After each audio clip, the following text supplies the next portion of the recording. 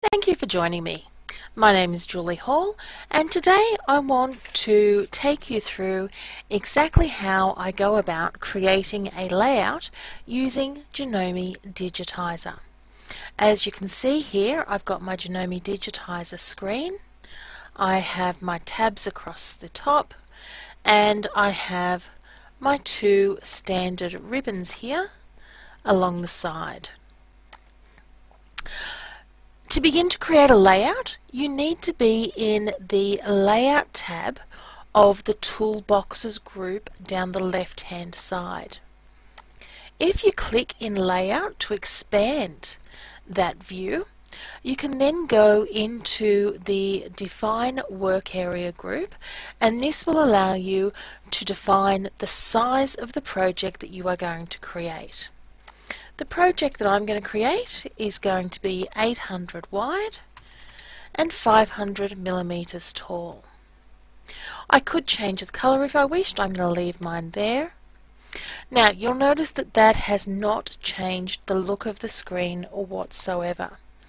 I can scroll in and out of my project simply by coming through and holding down the shift key and toggling with my mouse so that I can see the exact area that I'm going to say my layout's going to take up, I want to come through to the main ribbon here, click on show and select work area.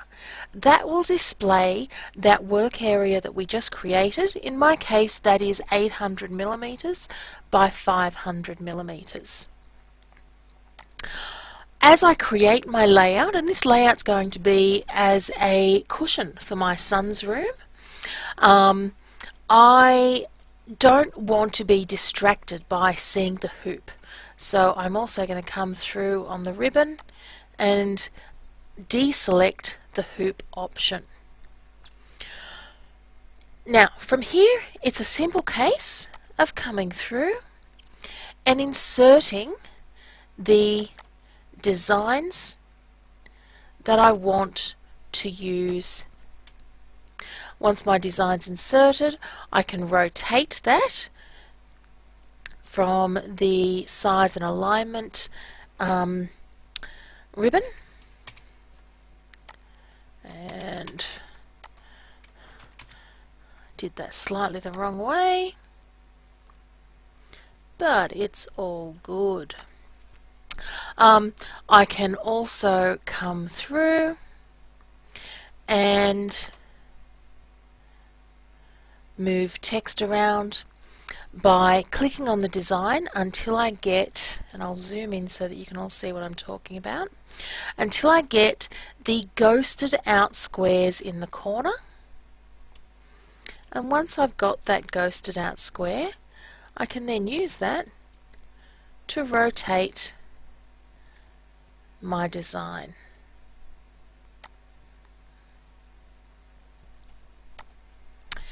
And lastly,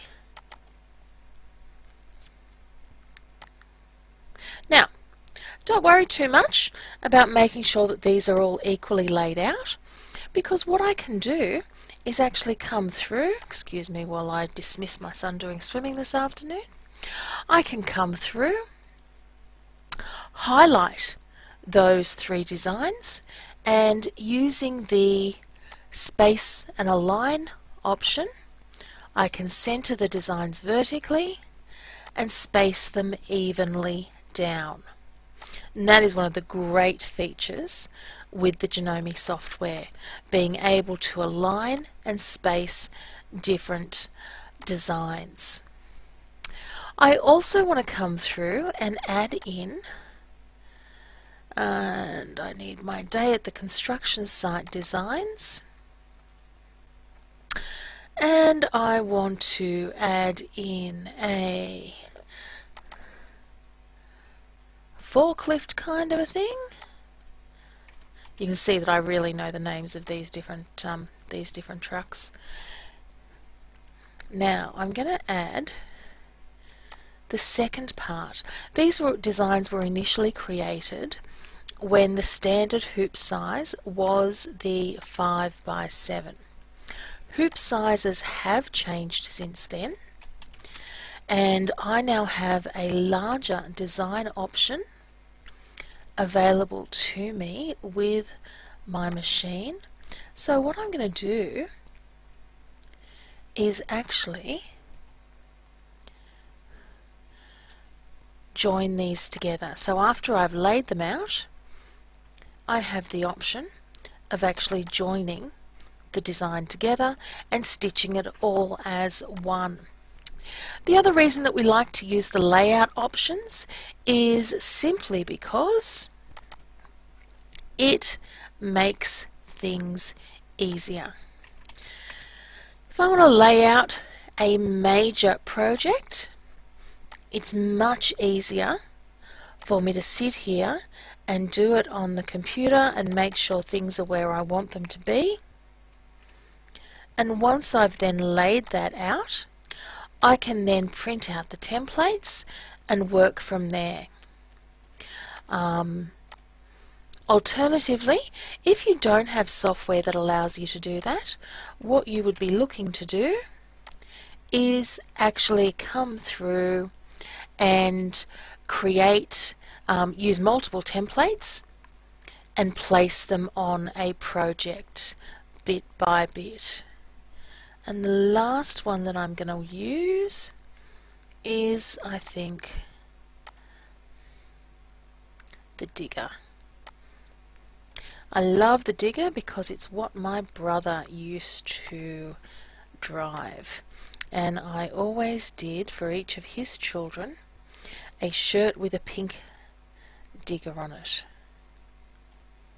so that they could have shirts like daddy's. Okay, now this is a nice easy design and by a nice easy design I mean there's no actual overlapping of the designs. This makes it a lot easier for us to create. And as I sit here, I'm thinking I'm going to keep that down to 2 and actually make that a little bit smaller. So if I've got that defined work area,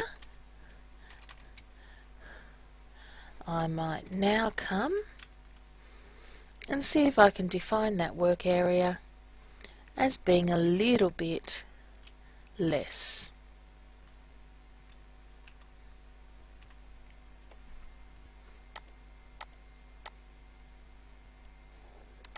Now, because I want my um, hoop and my layout to treat this design as a single design, what I'm going to do is I'm going to select both elements of that and I can do that either by coming around and drawing a square around it or by selecting first element 1, holding down the control key and selecting the second element and then coming up and choosing the group option or control G. Once I've got that I can select these three separate elements along the bottom that I'm going to use and I can also space those evenly across my project. So what I'm looking here for here is a nice long cushion that's going to add a little pop of colour to my son's room. Now at this stage I then save my design. So I come through and choose File, Save Design As, um,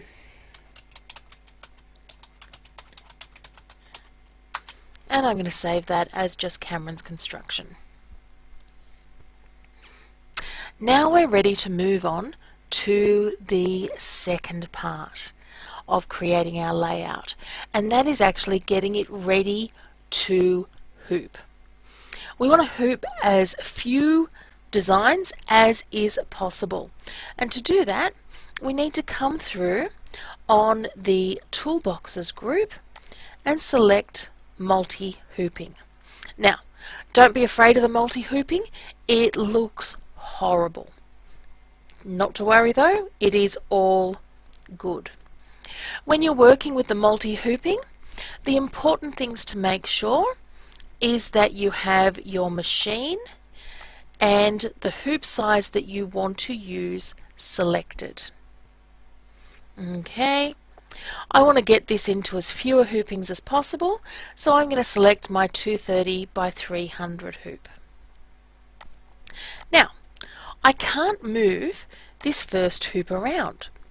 Why, I don't know, it makes no sense to me, but what I have to do is I have to add a hoop in.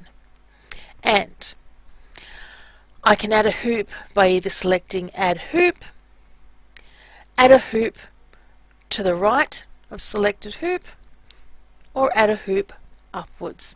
Really doesn't make any great difference. Once I've added that hoop, I can then play with the first one. And for instance, what I'm going to do is come through and play with this hooping. And what I want to do is see if I can get all of that in one hooping. Now, what I know I'm not going to get is all of that plus my prepare to stop.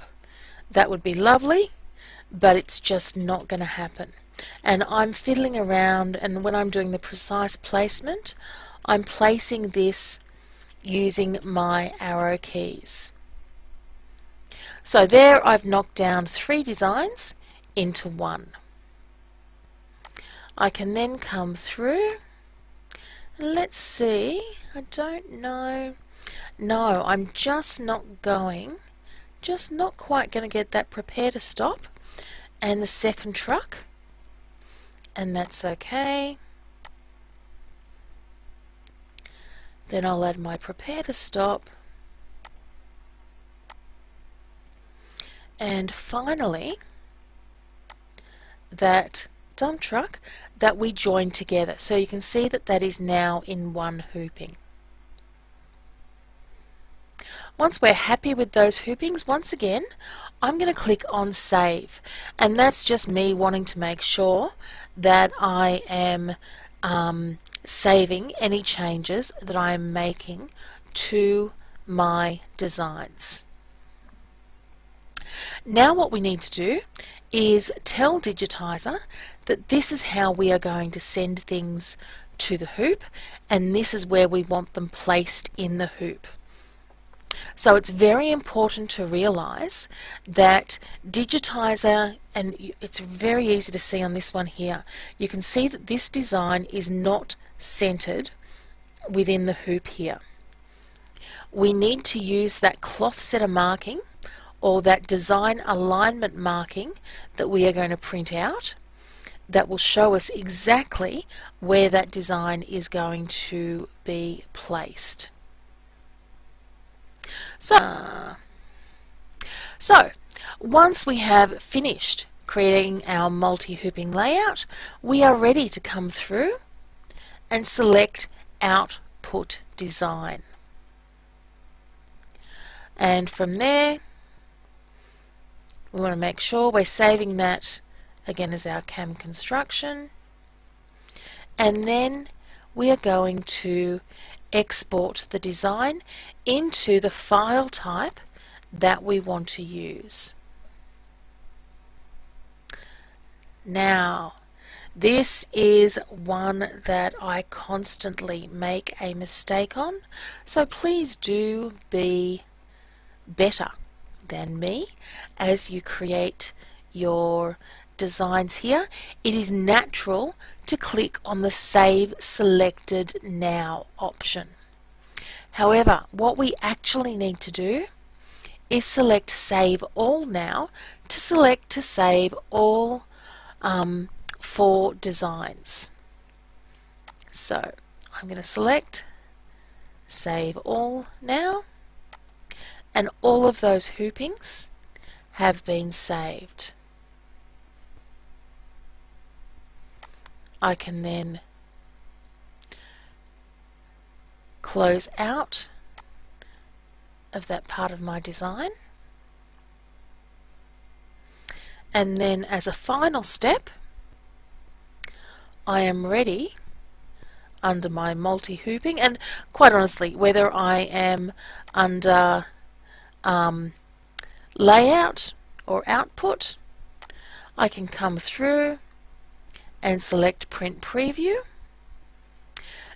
and what I am given is the hoop layouts for all of those designs. Okay, so we have our alignment markings and we also have the order markings of which order we should be stitching those designs. We print that out on template vellum and you are ready to stitch. I hope you've enjoyed this short tutorial um, and that you'll give it a go yourself and create beautiful layouts with your either Janome Digitizer, Hatch or Wilcom. Until next time, my name's Julie Hall. Have a stitching day. Bye.